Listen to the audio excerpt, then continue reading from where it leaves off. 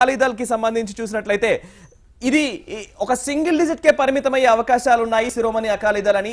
మొన్నటి వరకు మనం ఎగ్జిట్ పోల్స్ ఫలితాల్లో చూసాం కానీ సింగిల్ డిజిట్ కే పరిమితం అవ్వట్లేదు. ఇరవై ఐదు స్థానాల వరకు వెళుతుందంటే ఇది ఒకంత చెప్పుకోదగ్గ పరిణామంగానే భావించాల్సి ఉంటుందంటూ కూడా బీజేపీ నాయకులు చెప్తున్న పరిస్థితి కనబడుతోంది. ఆమ్ ఆద్మీ పార్టీ ఇరవై ఒక్క స్థానాలకు ఆధిక్యత ప్రదర్శిస్తోంది. ఇతరులు మూడు స్థానాల్లో ఆధిక్యత ప్రదర్శిస్తున్నారు. ముఖ్యంగా ఇది పంజాబ్కి సంబంధించిన విషయంగా మనం భావించాల్సి ఉంటుంది.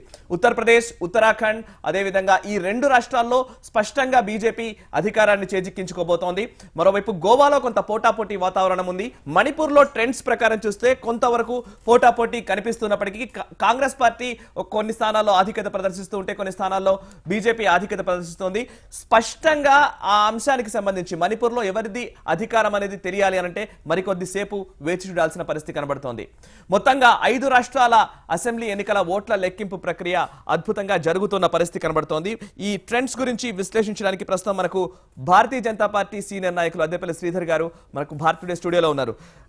శ్రీధర్ గారు నమస్కారం. శ్రీధర్ గారు బీజేపీ చాలా అద్భుతమైన ప్రదర్శన కనిపిస్తున్నట్టుగా ఉంది. ముఖ్యంగా సరే మనం ఇంతకు ముందు కూడా మనం డిస్కస్ చేసాం ఆ తమిళనాడు ఎలక్షన్స్ అప్పుడు కావచ్చు కేరళ ఎలక్షన్స్ అప్పుడు కావచ్చు సౌత్ ఇండియాలో కూడా బీజేపీ వేవ్ ఉంది అనుకున్నాం. కానీ ఉత్తరప్రదేశ్కి వచ్చేసరికి మినీ భారత్ అంటూ ఉంటాం. మినీ భారత్లో ఓ, సరే బొటాపోటీ ఉంటుందా? ఎస్పీ కాంగ్రెస్ కలిసిన తర్వాత అనే ఒక చర్చ కూడా ఆ ఎన్నికల ప్రచార సమయంలో కనిపించింది. బట్ ట్రెండ్స్ చూస్తూ ఉంటే అనూహ్యంగా కనిపిస్తోంది. ఊహించిందేనా? లేకపోతే అనూహ్య ఫలితాలు మీకు కనబడుతున్నాయా? అంటే ఏదైతే ఇదివరకు పార్లమెంట్ ఎలక్షన్లో గెలుస్తాం లేదంటే వస్తాయి సీట్లు ఉత్తరప్రదేశ్లో ఎలాగైతే అనుకున్నాం కానీ అన్ని డెబ్బై మూడు వస్తాయని అనుకోలేదు. Yeah.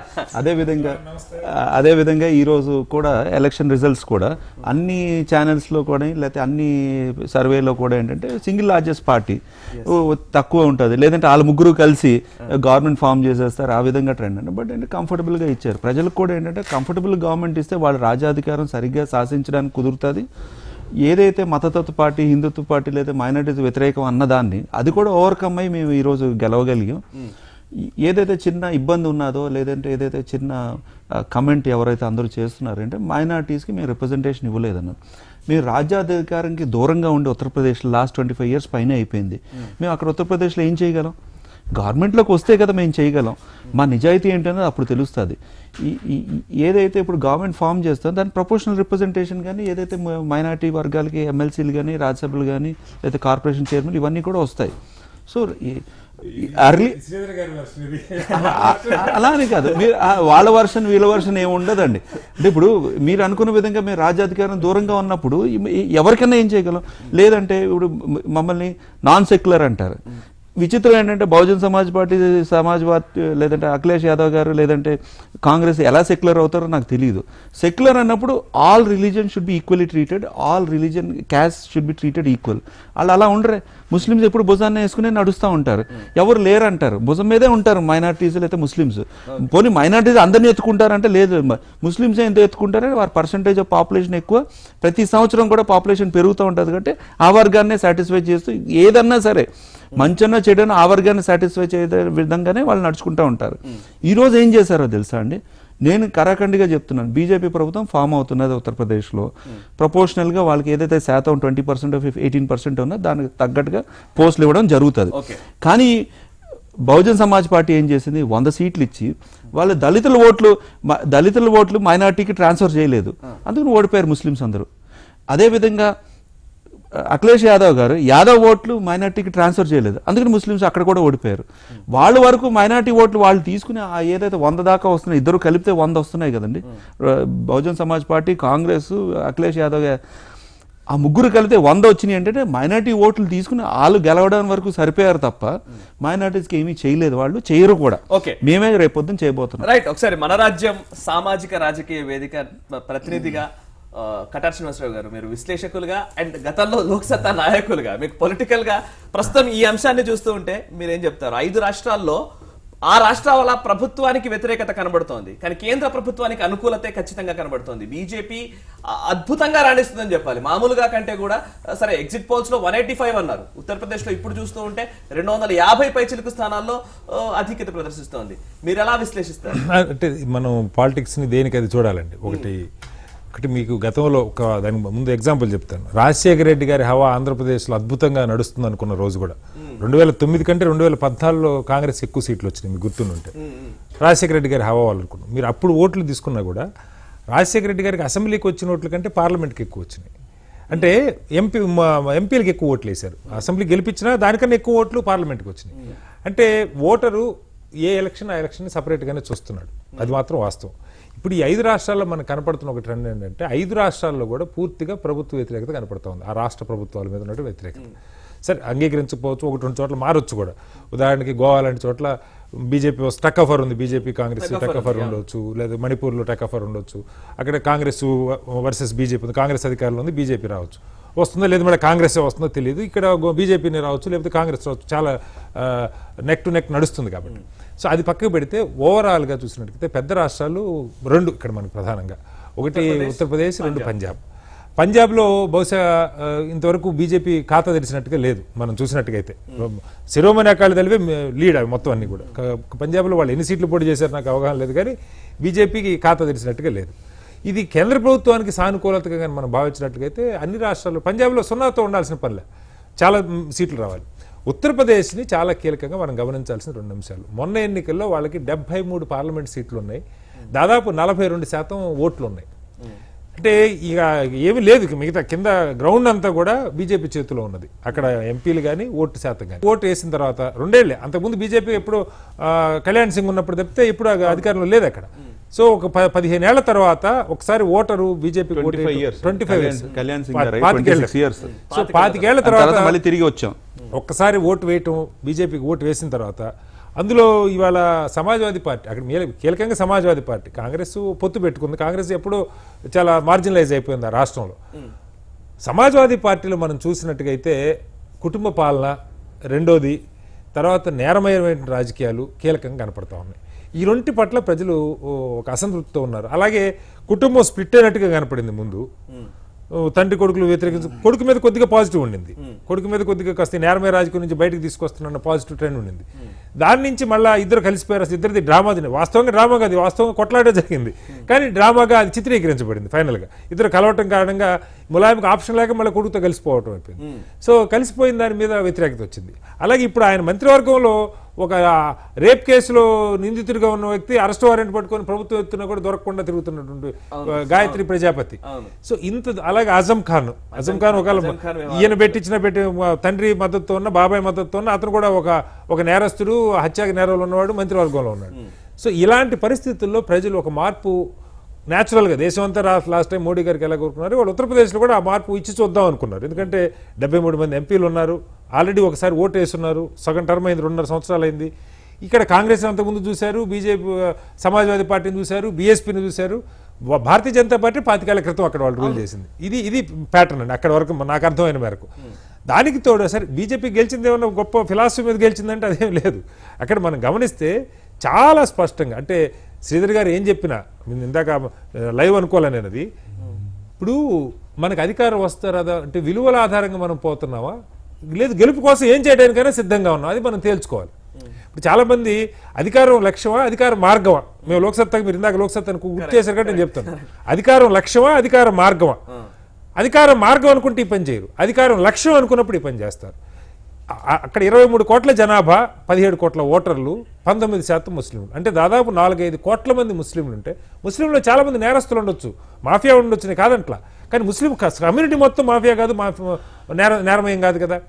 మీరు ఒక జాతీయ పార్టీ జాతీయ స్థాయిలో అధికారులు ఉన్నటువంటి పార్టీ ఒక ఇంక్లూజివ్ అప్రోచ్ ఉన్న సంకేతం మీరు ఇవ్వకుండా ఒక పంతొమ్మిది శాతం ఉన్న మహిళల్ని మీరు మా మనుషులు కాదు మీరు మాకు అక్కర్లేదు అని మీరు రిజెక్ట్ చేసిన తర్వాత ఖండిస్తానండి. నేను ఇవ్వకపోతే- ఎందుకంటే మాకు వచ్చే వాళ్ళందరూ ఓడిపోయే వాళ్ళు వస్తారు ముస్లింస్ వాళ్ళే పంపిస్తారు. అఖిలేష్ యాదవ్ గారు పంపిస్తే బహుజన్ సమాజ్ ఓడిపోయే ముస్లింస్ మేము పెట్టి. రాజ్యాధికారానికి దూరంగా ఉండడం ఎంతవరకు అక్కడ కరెక్ట్ దగ్గరకు చెప్పండి. వచ్చిన వాళ్ళకి మీరు సీట్లు అలానే ఇస్తున్నారు, మీరు మంచి వాళ్ళు అదే ఎత్తుకొని మాకు వచ్చే వాళ్ళు ఓడిపోయే ముస్లింస్ వస్తారు. ఓడిపోయే ముస్లింస్కి సీట్లు ఇచ్చి నాలుగు ఓడిపోతాం ఓడిపోయిన నష్టం లేదు. మీరు అన్న విధంగా ఓడిపోయిన నష్టం ఏంటి? రాజ్యాధికారం లేకుండా ఏం చేస్తాం అధికారం లక్ష్యమా మార్గం అని చెప్పాను. నేను అదే అడుగుతున్నా. అధికారం అనుకుందాం అధికారం అనుకుందాం. ఉత్తరప్రదేశ్ రాజకీయాలంటే మనం ఫస్ట్ నుంచి విశ్లేషించేది ఏంటి కులాలు. యాదవులు లేకపోతే కూర్మి సామాజిక వర్గం లేదా యాదవ సామాజిక వర్గం లేకపోతే బ్రాహ్మణ సామాజిక వర్గం ఇలా సామాజిక వర్గాల వారిగా విడదీయడం కరెక్టా? పోనీ మరి అంటే వాళ్ళకి ఇస్తేనే కరెక్ట్ అంటారు బీజేపీ కులాల చేసింది. నేను- అనేది ఏంటంటే సార్ ముస్లింలకి సీట్ ఇస్తేనే లేకపోతే ముస్లింలకు టికెట్ ఇస్తేనే భారతీయ జనతా పార్టీ ముస్లిం ప- ప- Secular party ఆ? లేకపోతే మీరు వాళ్ళ వైపు ఉన్నారా. ఎలా అని మీరు అంటారు? లేకపోతే- ఇప్పుడు కులాలకు అతీతంగా, కులాల- నేను- అంటారు నేను కదా. ఒకటే చెప్తున్నాను. కులాలకు అతీతం అంటే కులాలను విస్మరించని కాదు. డెమోక్రసీ అంటేనే పీపుల్స్ రిప్రజెంటేషన్ సమాజంలో ఐడెంటిటీ పాలిటిక్స్ నడుస్తా ఉన్నాయి. ఇవాళ ఇది బీజేపీ ఇదే చేసింది. నేను వేరే చేస్తే సంతోషపడతా. బీజేపీ వేరే రాజ్యాధికారం వచ్చిన తర్వాత మేము చేస్తాం. మీరు ఏదైతే అనుకుంటున్నారో అది చేస్తాం అంటున్నాను కదా. మీరు అది- అది శ్రీధర్ గారికి ఆ మాత్రం ఇది ఉన్నందుకు నాకు సంతోషం. నేను శ్రీధర్ గారి వెర్షన్ కాదు. శ్రీధర్ గారి అభిప్రాయాలు వేరు ఉండొచ్చు. నేను చెప్తా తెలుసుకున్నది ఏంటంటే ఇవాళ బీజేపీ అక్కడ ఉత్తరప్రదేశ్లో చేసింది ఏంటంటే యాదవేతర బీసీలు. మీరేం చేశారు? కులాల వారికి మీరు చూడలేదా? మతాల వారికి మీరు చూడలేదా? యాదవేతర బీసీలు అలాగే దళితుల్లో మాయావతి కమ్యూనిటీ కాకుండా ఇతర దళితులు జాట్ ఇతర దళితులు వా- ఇతర దళితులు. సో ఇదే ఫార్ములా. మీరు సమాజాన్ని కులాలుగా మతాలుగా ఐడెంటిఫై చేసి ముస్లింల్లో మనకి రెండు పర్సెంట్ మనం మన వైపు తెచ్చుకుంటే ఫైవ్ పర్సెంట్ హిందూస్ పోతారేమో. ఈ రెండు పర్సెంట్ రాకపోయినా పర్లేదు ఈ ఫైవ్ పర్సెంట్ రావటం ముఖ్యం. ఈ మొత్తం ఐదు ప- పంతొమ్మిది పర్సెంట్ ఉన్న ముస్లింలు మనం తిట్టుకున్నా పర్వాలేదు. మన దో- ద్రోహులు అనుకున్నా పర్వాలేదు. మనకి వీళ్ళు మనకి పార్టిసిపేషన్ కల్పించకపోయినా పర్వాలేదు అనుకున్నా పర్వాలేదు. కానీ మనకి అధికారం రావటం ముఖ్యం. సో ఈ లక్ష్యంతో నాలుగు వందల మూడు స్థానాలు ఉన్నటువంటి ఒక ఒక అతిపెద్ద రాష్ట్రం. ప్రపంచంలోనే ఐదో పెద్ద దేశం స్థాయిలో ఉన్నటువంటి రాష్ట్రంలో పంతొమ్మిది శాతం నేను మళ్ళీ ఎందుకు చెప్తున్నాను ఈ- విషయాలని మైనార్టీకి తెలియవా? ఈ కటార్ శ్రీనివాస్ గారు హైదరాబాద్లో ఉన్న వ్యక్తికి తెలిసినప్పుడు ఈ విషయాలని ముస్లింస్ ముస్లింస్ ఉత్తరప్రదేశ్లో తెలియదా తెలియనప్పుడు కూడా ఎందుకు చేశారు అంటే అక్కడ మోసం చేసింది మాయావతి చేసింది అఖిలేష్ యాదవ్ మోసం చేశారు. వాళ్ళకి ఇచ్చిన సీట్లు ఓడిపోయేటట్టు చేశారు వాళ్ళు. దళితుల్ని యాదవుల్ని ఏంటి వాళ్ళు ఎన్కాష్ చేసుకోగలిగారు మైనార్టీ ఓటు గాని. తిరిగి వీళ్ళు ఓట్లు వేయలేదు వాళ్ళకి. మరి ఎవరు న్యాయం. చేసినట్టు? నేను ఓటర్ల పాయింట్ ఆఫ్ వ్యూలో చెప్పట్లా. శ్రీనివాసరావు పార్టీ గారు, పాయింట్ ఆఫ్ ఇప్పుడు వ్యూలో మైనారిటీలకు టికెట్ ఇవ్వనంత మాత్రాన మైనారిటీలు బీజేపీకి ఓటు వేయలేదు అని ఎలా వేసి చెప్తున్నారు? ఉండొచ్చు ఎందుకంటే ఇప్పుడు ఇందాక చెప్తాను తలాక్ తలాక్ తలాక్ ఉంది. తలాక్ తలాక్ తలాక్ని బీజేపీ చాలా తీవ్రంగా వ్యతిరేకిస్తుంది. మనమందరం కూడా వ్యతిరేకిస్తున్నాం. సమాజంలో ఏమాత్రం ఇంగిత జ్ఞానం ఉన్న ఒక్కళ్ళైనా వ్యతిరేకిస్తారు. మేబీ కాంగ్రెస్ కొంచెం దాంతో రాజకీయం లబ్ధి పొందాలని ప్రయత్నం చేసి కాస్త లౌక్యంగా వ్యవహరించి ఉండొచ్చు అలాంటి వాటిలో లౌక్యంగా ఉండాలని నేను అంట్లా తలాక్ ఇవాళ ఛాందస్యం ఎక్కడున్నా ఏ కులంలో ఉన్నా ఏ మతంలో ఉన్నా దాన్ని వ్యతిరేకించాల్సిన బాధ్యత రాజకీయ పార్టీలది. వ్యక్తులది కాదు. రాజకీయ పార్టీలు మార్గం చూపించాలి. ఆ విషయంలో నేను ఆర్గ్యూ చేసింది చాలా సందర్భాలు అంటే ఇష్యూ కానప్పుడు దాన్ని మాట్లాడుతూ ఉన్నారు. ఇవాళ ముస్లింలు ఒకప్పుడు డజన్ మంది పిల్లలు కానివాళ్ళు. ఇవాళ ముస్లింలో చాలా మంది మనం పిల్లల కంటే ఇప్పుడు కూడా ఇక్కడ పత్రికలు రెండు వేల యాభైకి మనమే దేశంలో అతిపెద్ద కమ్యూనిటీ అవుతామని చెప్పి చెప్పు అలా చెప్పేవాళ్ళు ఉండొచ్చు. హిందువుల్లో కూడా ముస్లింలు దేశంలో పెద్ద కమ్యూనిటీ అవుతున్నారు. మీరు పిల్లల కంటే నాయకులు కూడా ఉన్నారు. మీరు అరవై మంది కంటే నాయకులు ఉన్నారు.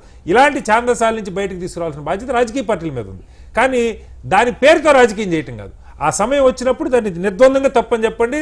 రాజకీయాలకు అతీతంగా ఓట్లకు అతీతంగా చెప్పినప్పుడు వెల్కమ్ చేస్తాం. మీరు ఓట్లకు అతీతంగా చెప్పలే. ఇవాళ తలాక్ ఇన్సిడెంట్ మొన్న వాట్సాప్లో ఒకటి జరిగింది మీరు ఖండించండి.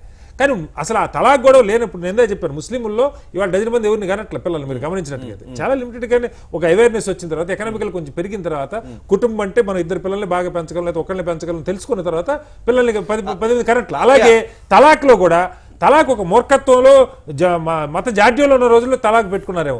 ఇవాళ ముస్లిం మహిళలు వ్యతిరేకిస్తున్నారు. ముస్లింల్లో పురుషుల్లో చాలా మంది వ్యతిరేకిస్తున్నారు. ఇది ఎక్కడ దౌర్భాగ్యం అని చెప్పి సో అలాంటిది ఏమన్నా మూర్ఖుడు దాన్ని అమలు చేస్తుంటే మీరు ఖండించడానికి నేను తప్పట్ల మేబీ దానికన్నా కూడా కొన్ని ఓట్లు వచ్చాను కరెక్ట్గా అది ఇదే టైంలో అది ఒక. ఫ్లరిష్ అయింది ఇష్యూ ఒకటి బలంగా ఫ్లేమ్ అయింది కాబట్టి దానిలో లాభం అంటే జరుగుతుంది కాదు సార్ కాదు సార్. ఏ ఎన్నికైనా సరే ఎన్నికలు జరుగుతున్నాయి అన్నప్పుడు అనేక అంశాలు అక్కడ ప్రతిపాది జరుగుతాయి. అన్ని ప్రతిబింబిస్తాయి. ఒకటి మైనారిటీలకు సంబంధించి ఉండొచ్చు కులాలకు సంబంధించిన ఈక్వేషన్స్ ఉండొచ్చు లేకపోతే అంశాల వారీగా కూడా ఉండొచ్చు. ట్రిపుల్ తలాక్ కావచ్చు లేకపోతే అయోధ్య కావచ్చు ఏదైనా సరే. అన్ని ఇంపాక్ట్ చూపిస్తాయి. కానీ ఇక్కడ మనం రాజకీయంగా ఆలోచిస్తే బీజేపీకి ఒక రెండున్నర సంవత్సరాల తర్వాత ఇది ఒక రెఫరెండంగా భావించాలా? మినీ భారత్ అని అంటున్న ఉత్తరప్రదేశ్లో ఎన్నికలు చాలా ఇంపార్టెంట్గా భావించాయి. అన్ని రాజకీయ పార్టీలు భావించాయి.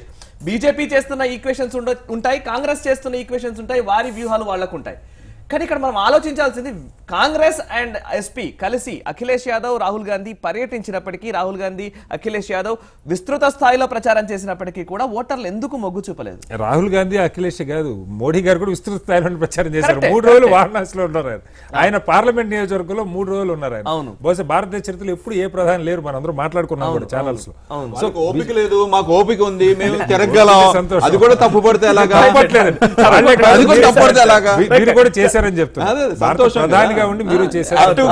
నేను చెప్పదలుచుకున్నది ఇది మోడీకి రిఫరెండం అనుకున్నట్టుగైతే మీకు పంజాబ్లో ఇంత మెజరబుల్ ఫెయిల్యూర్ ఉండదు పంజాబ్లో ఇంత మెజరబుల్ మిజరబుల్ ఫెయిల్యూర్ అని కూడా అనడానికి. అలాగే మీకు గోవాలో single digit for information Akali Dal సీట్లు మీరు స్ప్లిట్. చేసి చూసుకోండి అకాలీదళ బీజేపీ గుండు సున్నాలో ఉంది పంజాబ్లో మీరు. ఇప్పటికైనా. మళ్ళీ డేటా తెప్పించుకోండి. కావాలంటే అలాగే గోవా మణిపూర్ మూడు మూడు మణిపూర్ మూడు సార్లు కాంగ్రెస్ రూల్ చేస్తుంది ఆ. అక్కడ కాంగ్రెస్ గొప్పగా ఉందని అంట్ల. బీజేపీ పట్ల ఏమాత్రం సానుకూలతున్నా అక్కడ క్లియర్ తంపింగ్ మెజార్టీ వచ్చి ఉండాలి వేరే రీజన్ ఏం లేదు. రెండే పార్టీలు అక్కడ ప్రధానంగా ఉండేది. మణిపూర్లో మీకు బంపర్ మెజార్టీ వచ్చి ఉండాలి వి డోంట్ ఫర్గెట్ మనం రెండు వేల పన్నెండులో మణిపూర్లో ఒక్క స్థానం కూడా గెలవలేదు బీజేపీ. కానీ ఈసారి ఈసారి అధికారం వైపు వెళుతోంది అని అంటే బీజేపీకి ఎడ్జ్ పెరిగినట్టే. ఎగ్జాక్ట్లీ చెప్పాక మూడు రెండు మీరు ఏది రాష్ట్రాలు. మీరు అనేది- మీరు క్రిస్టియన్ అంటే- కమ్యూనిటీ అది కూడా ఆస్పెక్ట్స్ మణి- మణిపూర్లో ఏం చేశారు? మణిపూర్లో మీరు ఆ, రామ్ మాధవ్ గారిని అక్కడ ఇన్ఛార్జ్గా పెట్టారు ఆయన ఒక శ్రీ వైష్ణవ కార్డుని బలంగా వాడారు అక్కడ. ఇవన్నీ ఈ రాజకీయాలు. ఏంటంటే నేను ఇందాక చెప్పాను సార్ ఇవాళ ఒక మోడీ గారికి మొన్న మీరు నేను మళ్ళీ మళ్ళీ చెప్తుంటే పద్నాలుగులో మేము కూడా సపోర్ట్ ఇచ్చాం లోక్సత్తా నుంచి. ఆ రోజు ఏంటంటే గతంలో ఆయన తప్పులు చాలా ఉన్నప్పటికీ దేశంలో కాంగ్రెస్ అవినీతిలో కూరుకుపోయి ఉన్నది కొనారిల్లిపోయి ఉన్నది. మోడీ గతం అన్నంతా పక్కకు పెట్టేసేసి చెరిపేసుకొని ఒక కొత్త ఫేస్గా దేశానికి ముందుకు వస్తా ఉన్నాడు. ఏ ఏ రాజ ఏ రాజకీయంతో గుడ్ గవర్నెన్స్ నల్ల డబ్బును బయటకు తీసుకొస్తా అవినీతిని అంతం చేస్తా ఈ లక్ష్యాల మీద ముందుకు వస్తా ఉన్నారు. కాబట్టి అలాగే గుజరాత్లో మూడు టర్ములు పెద్దగా అవినీతి లేకుండా నేను అంగీకరిస్తున్నాను అవినీతి పెద్దగా లేకపోయినా ఒక ఒక మంచి ఎమర్జింగ్ స్టేట్గా తీసుకొచ్చే ప్రయత్నం చేస్తా ఉన్నారు. దేశవ్యాప్తంగా గుర్తింపు పొందారు అన్న ఉద్దేశంతో ఇర్రెస్పెక్టివ్ ఆఫ్ పార్టీస్ చాలామంది స్వచ్ఛందంగా యువకులు కానీ మిడిల్ క్లాస్ కానీ కదిలారు. కదిలి ఓట్లేశారు. ఈ ఈ మూడేళ్ళ కాలం మూడేళ్ళు గడిచిపోయింది మీరు గమనించి మూడేళ్ళ కాలంలో పెద్దగా అనుకున్న మార్పులు ఏమి రాకపోయినా ఉద్యోగ కల్పన పెద్దగా జరగలేదు పరిశ్రమలు పెద్దగా ఏం రాలేదు నల్ల డబ్బేం పట్టుకోలేదు పైపెచ్చు ప్రజల్ని మూడు నెలలు చావగొట్టారు ఈ డిమానిటైజేషన్తో. ఇన్ని జరిగినా కూడా గొప్ప అంగీకరించాల్సిన డిమానిటైజేషన్ ఎఫెక్ట్ అయితే నాకు ఎలక్షన్లో కనపడలేదు. చెప్తున్నాను దానికి కూడా రీజన్ చెప్తున్నాను. ఎందుకు కనపట్లేదు మీరు ఆలోచించాలి? మొత్తం దేశంలో దేశం అంతా మీరు ఫస్ట్ డే రెస్పాన్స్ చూసినట్టుగా అయితే దేశం మొత్తం దీన్ని వెల్కమ్ చేసింది. ఎందుకు వెల్కమ్ చేసింది? నల్ల డబ్బు దొరుకుతుంది నల్లవా ఈ అవినీతి పట్ల భర్తం పడతారు ఏదో రకం వాళ్ళు ఇబ్బంది పెడతారు ప్రజలకు మంచి జరుగుతుందని ఆశించారు. సరే మూడు నెలలు ఇబ్బంది పడ్డా సరే స్టిల్ ప్రజలు ఇంకా ఇంకా ఏదో జరుగుతుంది. మోడీ ప్రయత్నం చేస్తున్నారని నమ్ముతా ఉన్నారు. అది దీనికి అందువల్ల డిమానిటైజేషన్ ఎఫెక్ట్ ఉంది అంట్లా డిమానిటైజేషన్ నెగిటివ్ ఎఫెక్ట్ నమ్మడం కాదు. బినామీ ట్రాన్సాక్షన్ యాక్ట్ తీసుకుని వచ్చాం ఆధార్ ఎనేబుల్డ్ పేమెంట్స్ తీసుకుని వచ్చాం డబుల్ టాక్సేషన్ అవాయిడెన్స్ అగ్రిమెంట్స్ ఇదివరకు యూపీఏ ఈ ఇతర దేశాలకి ఎన్ని డబ్బు తీసుకుని వెళ్ళి తిరిగి వైట్ తీసుకునే దానికి against గా డబుల్ ట్యాక్స్ అవాయిడెన్స్ అగ్రిమెంట్ మూడు దేశాలతో సంతకాలు పెట్టాం. దెన్ బ్యాంక్లో ట్రాన్సాక్షన్ ఛార్జ్ కూడా పెంచారు. అంటే ట్రాన్సాక్షన్ వాటితో పాటు. కాదు. అంటే ఇప్పుడు అంటే- అంటే ఇప్పుడు ఏది ఫ్రీ ఉండదు కదండి. ఇప్పుడు నేనే మీరు మీరు ఒక విధంగా అంటే సింపుల్ ట్రాన్సాక్షన్ లాస్ట్ టైం ఒక ఒక బ్యాంక్ ఒక మనిషి వెళ్ళి పది రూపాయలు డ్రా చేసినక్కడ బ్యాంకర్కి ప్రైవేట్ బ్యాంక్ అని గవర్నమెంట్ బ్యాంక్ పదిహేను రూపాయలు ఖర్చు పెడతారు. ఇరవై రూపాయలు ఖర్చు పెడతారు. ఒక ట్రాన్సాక్షన్ ఐదు రూపాయలది ఒక రూపాయిది ఒక చెక్ డిపాజిట్ చేసిన పదిహేను టు ఇరవై రూపాయలు ఖర్చు పెడతారు బ్యాంక్ వాళ్ళు బిజినెసే చేస్తున్నారు. అదే కానీ ఏటీఎం ఆపరేషన్ చూస్తే పది రూపాయలు అవుతుంది. అదే కానీ ఆన్లైన్లో చేస్తే రెండు రూపాయల దగ్గరకు వస్తుంది. సో అంటే అంటే ఇప్పుడు ఎఫెక్టివ్గా మనం ఏంటంటే రేపు డిఫరెంట్ ఆస్పెక్ట్ అంటే ఇవన్నీ కూడా మార్పులు తీసుకుని వస్తున్నాం కాబట్టి ఆ డెవలప్మెంట్ ప్లాట్ఫామ్ డిఫెన్స్ డిఫెన్స్ మేజర్గా చేంజెస్ ఎనార్మస్ చేంజెస్ తీసుకుని వచ్చాం మ్యానుఫ్యాక్చరింగ్ ఇక్కడ మేక్ ఇన్ ఇండియా కాన్సెప్ట్లో తీసుకుని వచ్చి తీసుకుని రాబోతున్నాం. తీసుకుని వచ్చారు ఆల్రెడీ ఒక డిఫెన్స్లో ఒక ప్రొక్యూర్మెంట్ చెయ్యాలంటే సంవత్సరాలు రెండు సంవత్సరాలు మూడు సంవత్సరాలు పట్టేది. అదంతా కూడా షార్ట్ స్పాన్లోకి తీసుకుని వచ్చి అదంతా కూడా వస్తాయి. అంటే ఇవన్నీ- మార్పులు చేయడానికి కొంత టైం పడుతుంది చేసాం.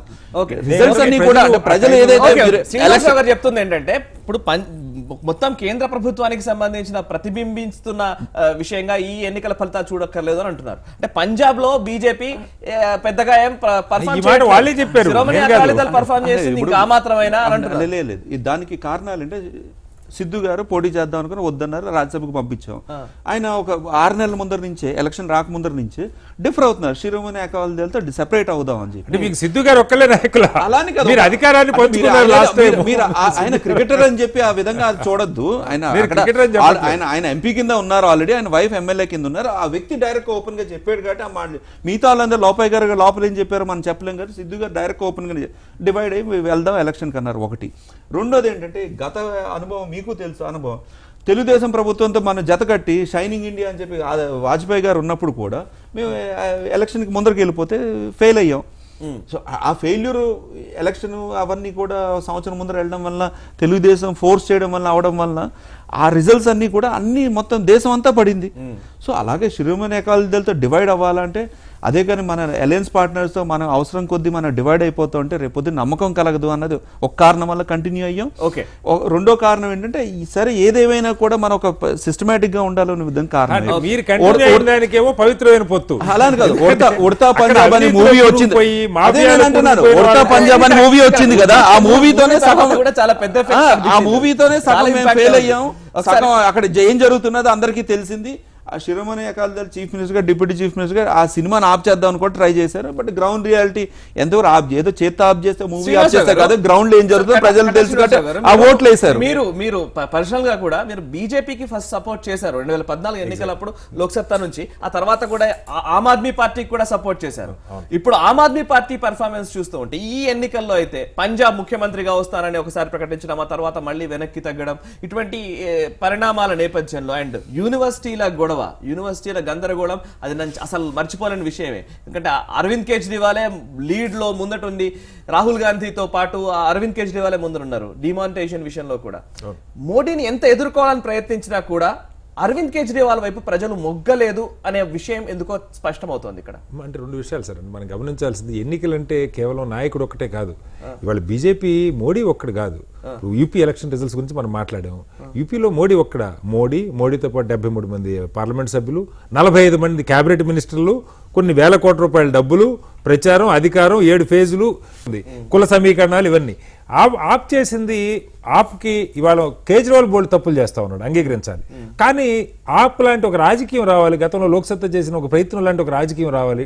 డబ్బు సారా పంచకుండా కులాలు మతాలు రెచ్చగొట్టకుండా అందరినీ కలిపిపోయి ఒక రాజకీయం రావాలని ప్రయత్నం కొన్ని లక్షల మంది వేల మంది వాలంటీర్లో ఉన్నది. ప్రయత్నం జరిగింది అటువంటి రాజకీయం లేదు కనిపించలేదు. ప్రయత్నం జరిగింది. అధికారంలోకి రావటం ఒక్కటే అనేది చెప్పాను. అధికారంలోకి రావటం నాలుగు సీట్లు తగ్గొచ్చు పెరగొచ్చు. బట్ ఒక మంచి ఓట్ షేర్ వచ్చింది. గుజరాత్లో మన పంజాబ్లో. గోవాలో కూడా ఓట్ షేర్ ఉంటుంది. సీట్ల రూపంలో రిఫ్లెక్ట్ కావట్లేదు కానీ ఓట్ షేర్ అయితే ఉన్నది. ఏ మేరకు వాళ్ళు రీచ్ కాగలిగితే గో పంజాబ్లో అయితే దాదాపు ఒక సంవత్సరం సంవత్సరం నుంచి కొన్ని వేల మంది ఆప్ కార్యకర్తలు ఇల్లు తిరిగారు. కాళ్ళకి బలపం కట్టుకొని తిరిగారు? ఒక రకం ఈ మాఫియా డ్రగ్ మాఫియాని బయటికి తీసుకొచ్చింది బలంగా వాళ్ళే. ఒక ఇష్యూ చేసింది వాళ్ళే. తర్వాత కాంగ్రెస్కి దాన్ని ఛాంపియన్ చేసిండొచ్చు కాంగ్రెస్ ఈవెన్ కాంగ్రెస్ మీద కూడా అక్కడ వ్యతిరేకత ఉంది. ఈ డ్రగ్ మాఫియాని కాంగ్రెస్ ఒక జాతీయ పార్టీ కూడా అధికారంలో ఉన్న పార్టీ కూడా వాళ్ళు ఏం చేయట్లేదు అనేది వ్యతిరేకత పంజాబ్లో ఉన్నది.